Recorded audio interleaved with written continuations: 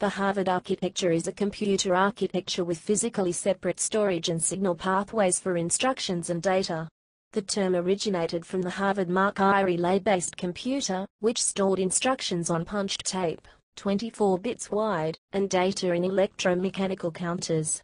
These early machines had data storage entirely contained within the central processing unit, and provided no access to the instruction storage as data.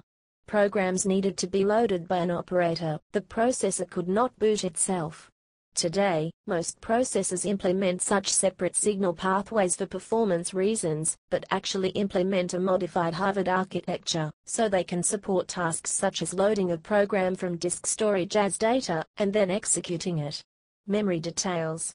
In a Harvard architecture, there is no need to make the two memories share characteristics. In particular, the word width, timing, implementation technology, and memory address structure can differ. In some systems, instructions can be stored in read-only memory, while data memory generally requires read-write memory. In some systems, there is much more instruction memory than data memory, so instruction addresses are wider than data addresses. Contrast with von Neumann architectures. Under pure von Neumann architecture the CPU can be either reading an instruction, or reading slash writing data from slash to the memory. Both cannot occur at the same time, since the instructions and data use the same bus system. In a computer using the Harvard architecture, the CPU can both read an instruction and perform a data memory access at the same time, even without a cache. A Harvard architecture computer can thus be faster for a given circuit complexity, because instruction fetches and data access do not contend for a single memory pathway. Also, a Harvard architecture machine has distinct code and data address spaces. Instruction address 0 is not the same as data address 0. Instruction address 0 might identify a 24-bit value, while data address 0 might indicate an 8-bit byte that isn't part of that 24-bit value. Contrast with modified Harvard architecture.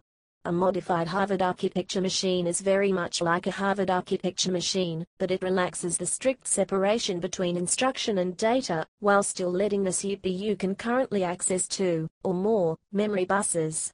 The most common modification includes separate instruction and data caches backed by a common address space. While the CPU executes from cache, it acts as a pure Harvard machine. When accessing backing memory, it acts like a von Neumann machine, where code can be moved around like data, a powerful technique. This modification is widespread in modern processors such as the ARM architecture and x86 processors. It is sometimes loosely called a Harvard architecture, overlooking the fact that it is actually modified. Another modification provides a pathway between the instruction memory, such as ROM or flash, and the CPU to allow words from the instruction memory to be treated as read-only data. This technique is used in some microcontrollers, including the Atmel AVR. This allows constant data, such as text strings or function tables, to be accessed without first having to be copied into data memory, preserving scarce and power-hungry data memory for read-slash-write variables. Special machine language instructions are provided to read data from the instruction memory. This is distinct from instructions, which themselves embed constant data, although for individual constants the two mechanisms can substitute for each other. Speed. In recent years, the speed of the CPU has grown many times in comparison to the access speed of the main memory. Care needs to be taken to reduce the number of times main memory is accessed, in order to maintain performance. If, for instance, every instruction run in the CPU requires an access to memory, the computer gains nothing for increased CPU speed a problem referred to as being memory bound. It is possible to make extremely fast memory but this is only practical for small amounts of memory for cost, power and signal routing reasons. The solution is to provide a small amount of very fast memory known as a CPU cache which holds recently accessed data. As long as the data that the CPU needs is in the cache, the performance hit is much smaller than it is when the cache has to get the data from the main memory. Internal versus external design. Modern high-performance CPU chip designs incorporate aspects of both Harvard and von Neumann architecture. In particular, the modified Harvard architecture is very common.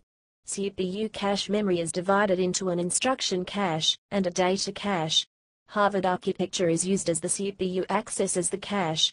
In the case of a cache miss, However, the data is retrieved from the main memory, which is not formally divided into separate instruction and data sections, although it may well have separate memory controllers used for concurrent access to RAM, ROM, and, NOR, flash memory. Thus, while a von Neumann architecture is visible in some contexts, such as when data and code come through the same memory controller, the hardware implementation gains the efficiencies of the Harvard architecture for cache accesses and at least some main memory accesses. In addition, CPUs often have write buffers which let CPUs proceed after writes to non-cached regions. The von Neumann nature of memory is then visible when instructions are written as data by the CPU and software must ensure that the caches, data, and instruction, and write buffer, are synchronized before trying to execute those just written instructions. Modern uses of the Harvard architecture the principal advantage of the pure Harvard architecture simultaneous access to more than one memory system has been reduced by modified Harvard processors using modern CPU cache systems. Relatively pure Harvard architecture machines are used mostly in applications where trade-offs, like the cost and power savings from omitting caches, outweighing the programming penalties from featuring distinct code and data address spaces. Digital signal processors, DSPs, generally execute small, highly optimized audio or video processing algorithms. They avoid caches, because their behavior must be extremely reproducible. The difficulties of coping with multiple address spaces are of secondary concern to speed of execution. Consequently, some DSPs feature multiple data memories in distinct address spaces to facilitate SIMD and VLIR processing.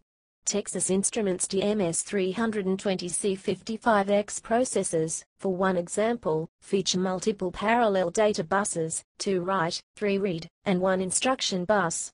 Microcontrollers are characterized by having small amounts of program, flash memory, and data, SRAM, memory, with no cache, and take advantage of the Harvard architecture to speed processing by concurrent instruction and data access. The separate storage means the program and data memories may feature different bit widths, for example using 16-bit wide instructions and 8-bit wide data.